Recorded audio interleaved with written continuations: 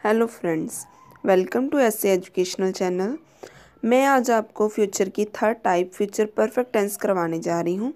दो two types मैंने आपको पहले करवा दी थी। तो फ्यूचर परफेक्ट टेंस की डेफिनेशन है। The future perfect is use to refer to an action that will be completed time in the future before another action takes place तो इसमें क्या होता है? फ्यूचर परफेक्ट टेंस जो है वो हम यूज़ करते हैं कि को, हमारा कोई भी काम है जो आने वाले समय में कंप्लीट होने वाला है उसके लिए यूज़ करते हैं कि आने वाले समय में वो क्या हो जाएगा? कंप्लीट हो जाएगा कोई भी और काम होने से पहले। जैसे यहाँ पे मैंने आपको एग्जांपल दे रखी हैं। I shall have played he she will have played तो जैसे मैंने आपको पहले विल शेल के बारे में तो बताया ही था मतलब क्या है कि जो विल हैव है, वो क्या है, कोई भी सिंगुलर प्लूरल ही शी कुछ भी हो, उसके साथ लगता है। और सिर्फ़ आई और वी के साथ क्या होता है शेल हैव यूज़ होगा। और इसमें जो मेन वर्ब है, उसकी थर्ड फॉर्म यूज़ होगी। तो इसमें क्या है, जैसे first example I shall have played तो आई के साथ क्या लगा है? शेल हैव और साथ में जो मेन वर्ब है उसकी थर्ड फॉर्म लगी है। तो नेक्स्ट स्लाइड में मैंने इसकी आपको और भी एग्जांपल दे रखी हैं, जिससे आप इसे अच्छी तरह से समझ सकते हैं। तो आगे जो है इसकी सिंपल है, जैसे मैंने आपको दी हुई example he will have perform prayer first example second they will have bought laptops तो मैंने ऐसे आपको काफ़ी एग्ज़ाम्पल दे रखी हैं, जिससे आप इसे अच्छी तरह से समझ सकते हैं। इस सब, सबसे पहले इसमें क्या आता है? सब्जेक्ट जैसे फ़र्स्ट एग्जांपल ही उसके बाद हेल्पिंग वर्ब विल हैव और उसके बाद मेन वर्ब की थर्ड फॉर्म जैसे परफॉर्म्ड है. और लास्ट में ऑब्जेक्ट प्रेयर तो नेक्स्ट स्लाइड में मैंने आपको इसकी नेगेटिव टाइप बताई हुई.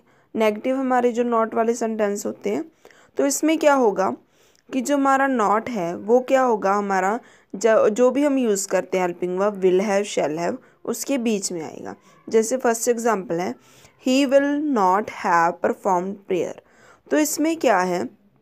पहले सब्जेक्ट आएगा, फिर हेल्पिंग वर्ब जो है हमारी विल उस पे, उसके बाद नॉट फिर हैव मीन्स विल हैव इकट्ठा नहीं आएगा, उसके बीच में नॉट आएगा।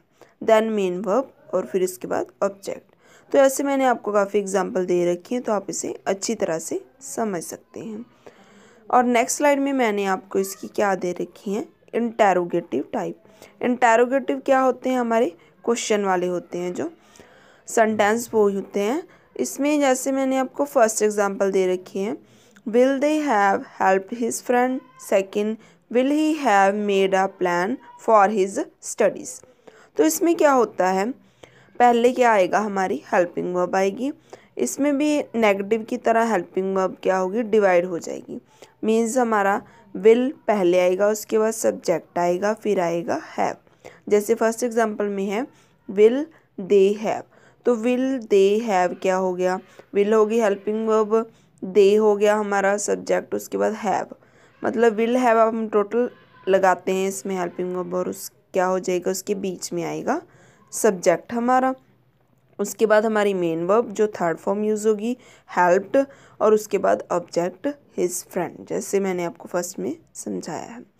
तो इसमें क्या है कि मैंने आपको इसके रिलेटेड काफ़ी एग्जांपल दे रखे हैं, जिससे आप इसे अच्छी तरह से समझ सकते हैं। तो उम्मीद है कि आपको ये समझ में आ गया होगा। अगर आपको ये वीडियो अच्छी लगी हो तो इसे लाइक ज़रूर करें। अगर आपने हमारे चैनल को सब्सक्राइब नहीं किया तो सब्सक्राइब ज़रूर करें। Thank you